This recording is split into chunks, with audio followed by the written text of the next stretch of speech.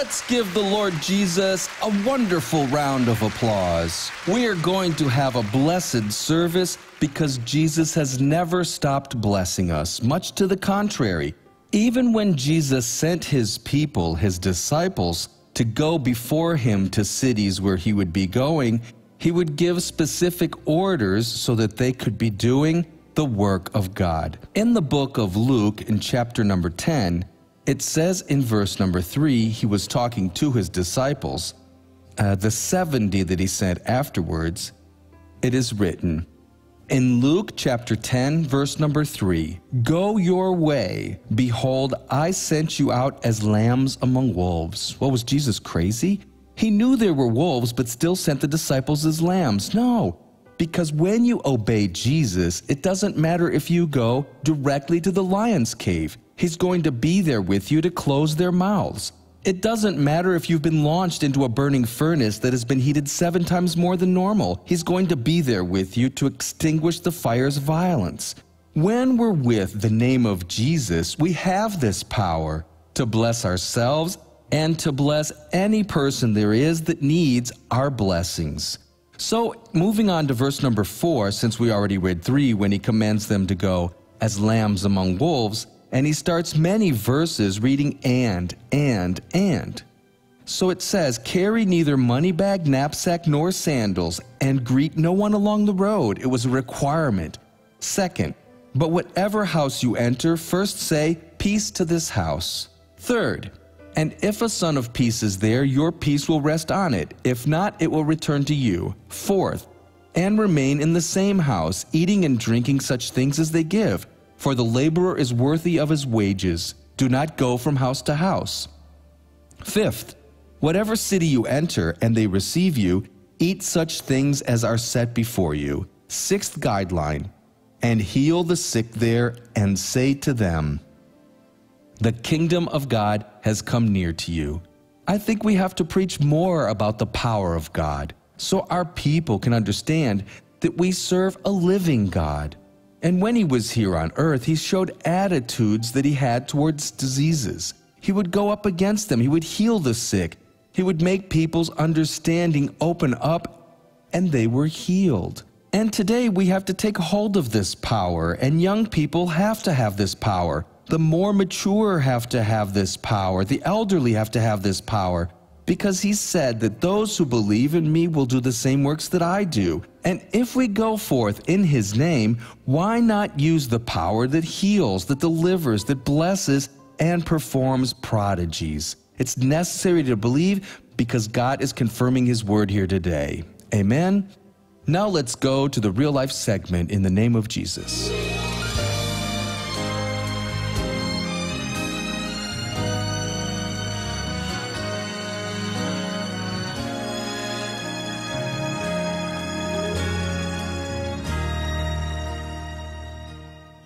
It was January 19, 2002. I had crashed a car and was very nervous. I turned on the TV on Wednesday and watched the Faith Show program. Dr. Soares preached about the Bible and I liked it. The Lord God touched me that day. I lived in a basement. Today I live in Guarulhos City in a 275 square meters house. Besides the commercial room that is being built up in the front, I've had my own business for 10 years. I'm a carpenter. Walter achieves prosperity after he started sponsoring the Faith Show, but something was missing for the family to achieve complete fulfillment. In 2005, when I got pregnant for the first time, it was in the tube. And I didn't know I was pregnant. I ended up in the hospital. The doctor removed the tube. And I asked the doctor if I would be able to get pregnant again. And the doctor said I would. During this period, I was waiting to get pregnant again. I waited for five years and I wasn't able to get pregnant again. Then she went to a different doctor, and this doctor made her desperate. The doctor said she couldn't have kids, but she didn't give up, and so she went to see another doctor. And this doctor said it was not exactly the case, that there was an in vitro fertilization treatment she could do. She could be a mother. By that time, I had already registered to do an insemination, but one year had already passed and and nothing had been done. I said, "Oh Lord, if you are going to act in my life through the doctors, then you will make them call me so that I can indeed do the treatment. I was just rounding the corner of my house and I heard the phone ringing. It was the hospital calling me so that I could start start the treatment. The couple's dream was about to come through. However, they go through a very tough tribulation. Everything was going fine to be a normal delivery.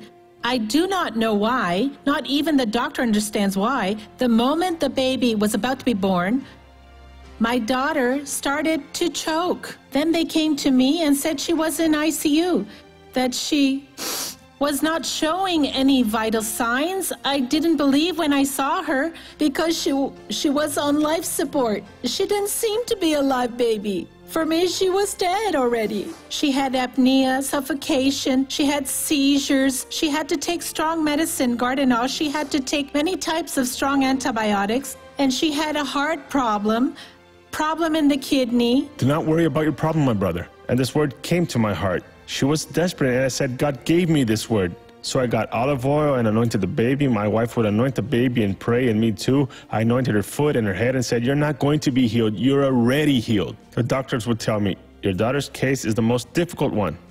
Your daughter's life is at risk. I looked at her and said, I don't know in what you believe, but I believe in the living God. And from today on, my daughter starts to get better. On the other day when I came back, I asked the same question to the same doctor Is the baby better or not? Do not lie, I told her. And she answered me. She got a little better. And I told her God's hand started to work. And then all of the doctors, all of the team were surprised because the baby started to get better quickly. They started to turn off the life support equipment and increase the medicine. Yes, they did that. So now, thanks to God, my daughter is very well. She doesn't have any after effects. Everybody gets surprised because she is, you know, very, very smart. I feel really fulfilled. My daughter is a blessing. I take her to the doctor because I should, but I believe that God is the doctor of the doctors. The child is there. The child is a miracle. She's perfect. She doesn't have any problems. Oh, glory to God. This is so beautiful. Let me talk to the mother. Is everything all right, Yes, it sister? is. Your husband couldn't come? No, he couldn't, Dr. Soares. He had a work commitment. He couldn't come. Well, what's the name of this beautiful child? Rebecca. Rebecca is a living miracle. That's right. First, because you became pregnant, and then because it seemed to be a lost cause. That's right, Dr. Soares. Well, you know, at the moment she was born, it was very hard because because I thought, no, I didn't think the enemy wanted to take her away. But I said, you're not going to take my daughter. She was born and I saw her on life support. To me, she was dead. But thank God she's here. Look, the doctors would say to me, Mom, your daughter is going to have after effects. Your daughter won't be normal. And I would look at her and say, Not my daughter. My daughter won't have these problems. Oh, mother, we're talking in in medical terms that she had this and that. I said no. My daughter won't have these problems. And she said, "How can you be so sure?" I said, "I have faith that she won't have any after effects." And the proof is right here. She's Yes, perfect. I, I would anoint her, Dr. Soares, and the doctor would say, Oh, mother, she's getting better. It's a lot of prayer for this child, right? And I said, It's a lot of prayer. a lot of it's a lot prayers. of prayer. It's a lot of prayer because every day she is surprising the doctors. Then the doctor said, There's only one problem. She has a bladder problem. Then I said, Does she have a bladder problem? I got the oil and anointed and prayed and said, No, she won't have this bladder problem. Soon after, when I finished praying, she started to pee. Then I called the doctor and said, Look, doctor, look here. The doctor said, Well, mom, your at- baby is looking at me. peeing. Your baby is peeing, mom. Glory to God. And she won't have any after effects, and she didn't. She didn't. Glory Thanks to God, for that. And God is in your house and a constant presence. Present, thanks And a working God. presence. And a working one. Give Jesus a hand of applause. Thank you, Jesus. Those of us who have knowledge about God's Word, we say things that sometimes surprise people, but it's necessary to say them because if we don't assume that, who's going to do that? Now, don't speak from your mind. This contact with God, since we have the Spirit of Christ, the Holy Spirit, we are not here alone, brethren. We have His power within us, and He guides us in what to do and what to say. Being connected with God, there is not, nor will there be, any battle that we cannot win. Standing firm with God will always become winners. Put this into your heart. God has called us and promised that we will be victorious and will always be. Now let's go to the question and answer segment. Dr. Soares, should we pray one time and wait or ask until we receive the blessing? Always, this question is a good one. We always have to be guided by the Spirit of God. There are times that we have to remain in battle. Other times, we pray one time and wait, and then God works. It's like it is written in the Bible, but those who don't have God's Spirit are not God's children. They don't belong to Him. It's necessary to have it because we feel it. This blessing I'm going to pursue in the name of Jesus. And when we do that, God will bless us. Those who have God's Spirit, at least His presence in their daily lives, know what God wants from them. Next question, please. Dr. Soares, is it possible that, you know, angels might appear to us nowadays? Well, it is possible. And and it all depends on the will of God. We shouldn't look forward to see to to seeing angels. I was a young boy and you know when my grandmother passed away, she was a Christian and I was told a few cases that you know of people who had a close contact with God. It's good when you have someone in the family that really serves God. And my aunt arrived on their property and said, Mom, these mangoes are so ugly. And my grandma said, I don't mind because I don't belong to this world. What is that, Mother? You're too young. Yeah, I know. But I was praying over there this morning, and a lot of angels came by singing, and for me, that's a sign. That night in her sleep, when my grandpa turned to look, she wasn't there anymore. It was only her body. So she went away to be with God. So there are people that do see angels. I can't say because I haven't had that pleasure. If God gives it to me, I'll be very happy. But with Jesus, it doesn't matter if I see angels. I'm always happy in His name. And now let's go uh, to the Open Your Heart segment.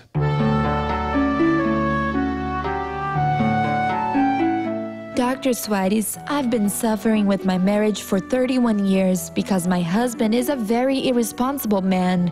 He's always unemployed, and the worst is that he always blames other people.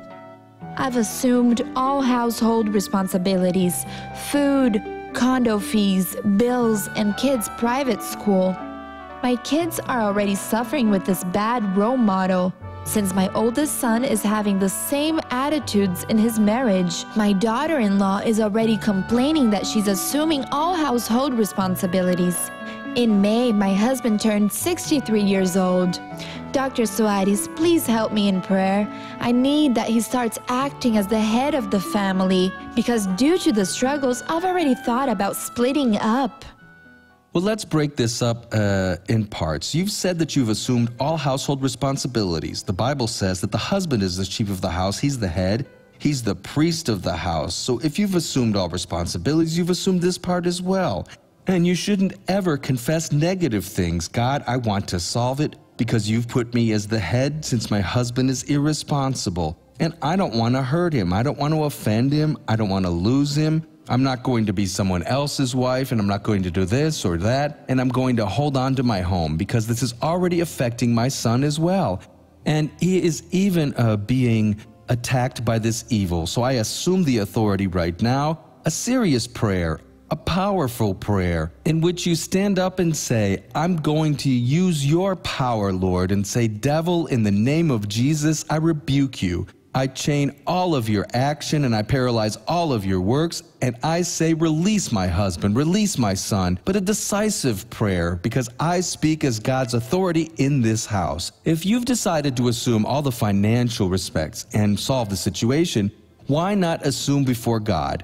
And when the husband has this understanding, he puts all of these things to work as they should be working. So you assume now, you know, believe and God will be with you in the name of Jesus. And do not confess anything else, because if not, you know, you're opening the door for the devil. And there is no what if no, no devil. Because as many promises there are from God, all of them you have in God, yes. And you may go, and God will be with you, and He is going to give you your victory in the name of Jesus. Let's go now to the book of Proverbs, chapter 3. I've started uh, talking about this two services ago, talking about this text. Let's go to verse number 5, where it reads Trust in the Lord with all your heart. do not trust with only half of your heart or 90% of it. Do you want to solve an issue?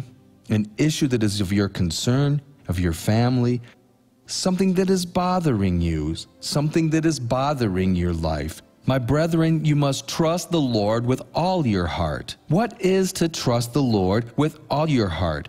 Whatever it is that whenever you read the Bible or when you listen to a sermon, it illuminates you, makes you feel that that word is specific for you. Get that word and trust in it. Because with this word, as the disciples said, Jesus said, Cast your net to the right. Peter asked, Lord, we've been working all night and we didn't catch anything. But upon your word, I'll cast the net. And they cast it, and the net was about to tear apart with so many fish that was in it. So you continue seeking God, seeking God, praying, going to church, reading the Bible, paying attention. And when you understand that God spoke to me, brethren, at that moment, it is as God said, I'm ready to do great works in your life. Whatever you felt from the Bible that is yours, you are going to have to determine, but do it with all of your heart, as I said to that lady who wrote the letter.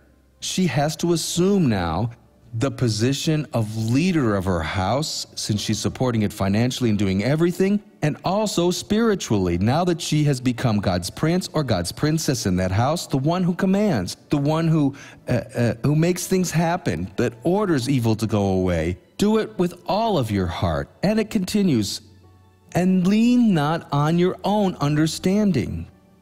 Because, brethren, when you think you know something and lean on it, you may not even pay attention that the enemy is behind what is happening. Let's go now to the second book of Samuel, chapter number 11. In 2 Samuel, chapter number 11, let's read the first verse. You're going to see here who King David, a man about whom God said, He's according to my heart, he fell and fell violently and full of shame. 2 Samuel chapter 11 verse 1. It happened in the spring of that year, at the time when kings go out to battle, that David sent Joab and his servants with him, and all Israel, and they destroyed the people of Ammon and besieged Rabbah. But David remained at Jerusalem. He didn't understand that all of the laziness he felt was a work from the devil and write down what I'm going to say. The day that you feel like, today I'm not going to go to church because it's raining, it's too cold, it's too hot, there's a game or something else, what should you do? Get up and go to church. My brethren, there's an operation from hell to put you in shame. It's the devil's plan. If David had gone, what happened wouldn't have happened laziness. You know, sometimes you think you just can't make it this time. I'm not going. Stand up and go. That's the enemy trying to harm you. And now let's read verse 2. Then it happened for him, because in hell that was already set to happen. One evening that David arose from his bed and walked on the roof of the king's house, and from the roof he saw a woman bathing and the woman was very beautiful to behold. Nothing happens by chance. He probably had had a big lunch, his stomach was heavy, he felt sleepy. Where was Israel? Where was his army? Fighting against the people of Ammon that used to harm the Israelites. And where was the king? The supreme commander of Israel's armed forces, he who was you, oh, you the, the highest authority. He was sleeping while they were going. And a person that sleeps during you uh, the time of harvest or the time of sowing, during working hours, this person isn't doing a good thing. God created the day for us to walk and the night for us to rest. Unless we have some professional motives, we should never invert this order. Whenever people start with this inversion, something evil is happening in their lives. But I have a health problem, so pray to God. Search for God and say, God, I need to enter in the, the normality. This lack of attention for the few things in life is going to be bad for you. He woke up and didn't even pray for his army. He went for a walk. And when he saw on the other side in the other balcony, and of course he saw a woman bathing. Of course it was the devil doing that, because nobody bathes in public. So she was there exactly as the devil wanted to work to make him fall. And instead of looking at her and turning away and saying, God, I'm wrong, I need to react, he kept observing. And the woman was very beautiful to behold. And what's the problem with being beautiful? She wasn't his wife. He shouldn't, you know, be looking at someone else's wife. And then what happened? So David sent and inquired about the woman. And someone said, Is this not Bathsheba, the daughter of Eliam, the wife of Uriah the Hittite?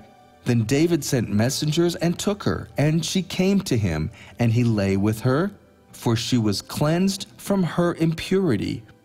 And she returned to her house. After she sent a message saying she was pregnant, David became desperate. He planned the murdering, the assassination, the homicide of her husband. He died. And then for David, everything was fine. Because, you know, the plot here is worth reading afterwards. He was trying to get rid of the baby, sent Uriah home. He didn't go. Then he made Uriah drink. He ordered him again, but Uriah didn't go. Everything David wanted to do, then he sent Uriah in front of the battle and he died. Then David was free. And he even got her as his wife. So Nathan the prophet came and told the story about a man that was very rich and robbed the lamb of another man. And David got very angry. This folk has to die, but you are this man. God told me to tell you. He realized and repented, but then Nathan told him a word that we should never have to hear in our lives. The first word is in chapter 12, verse number 10. Do not play with God's justice. Do not play with the truth. Fear what God says. This is the prophet Nathan speaking. Now therefore, the sword shall never depart from your house, because you have despised me. You have taken the wife of Uriah the Hittite to be your wife. Was it all worth doing, David? No. Right afterward, there was an incest. One son abused uh, uh, his sister. Then there was another son that killed this first son that abused the sister. And then this son tried to get his reign. The sword never departed from his house. Brethren, don't wish anything from the enemy. The price to be paid is too high. And there are people listening to me that know exactly what this is that is making this person suffer for such a long time. What do I have to do? Go back to God and get back on the right path. And now let's read verse 14 that for me is as strong as this one we just heard. The first part of the verse. However, because by this deed you have given great occasion to the enemies of the Lord to blaspheme, only this the person that took part in any illicit act. When they talk about Jesus, what? And tell the story. For me, God is nothing and so on. It's a life that is going to get lost because a son or a daughter of God acted in the wrong way. Sometimes the person even hopes that this person disappears so that the one that acted wrong can say, I'm clean. That's not the way. You can only get clean following God's guidance. Without God's guidance, you remain in the hand of the devil. The worst, besides what we've just seen, is that he gave conditions so that the Lord's name could be blasphemed. And it's no use praying, but you have to go away. The devil doesn't care. He will just remain there, uh, dancing around and around you. I'm not going to dance because it'll look weird. As a matter of fact, I'm a terrible dancer. And the devil does this, and the person is unable to rebuke it. But why can't the person rebuke it? Because the person gave the devil conditions. Regret and go back to where you fell before it's too late. Let me pray now. God, I've summarized this sermon so much. But I wasn't supposed to preach because other times I've already preached about this subject, only to tell the two serious cases that David's sin brought to his house, and to your house, to his house, the sword. God, only wrong things happened. To your house. Your name was blasphemed because of his act. God, may this never ever happen to my people. And if it's already happened, don't allow this person to have peace until this person repents, because this person needs to become clean. Yes, this person needs to get rid of this demon that is consuming this person's guts, that is destroying that family's happiness, that is attacking a son or a daughter. God, please come to this person's rescue. I'm going to bless your people now. In the name of Jesus, I say, devil, get your hand out of this life because this person has made a decision. In the name of Jesus, be blessed and amen.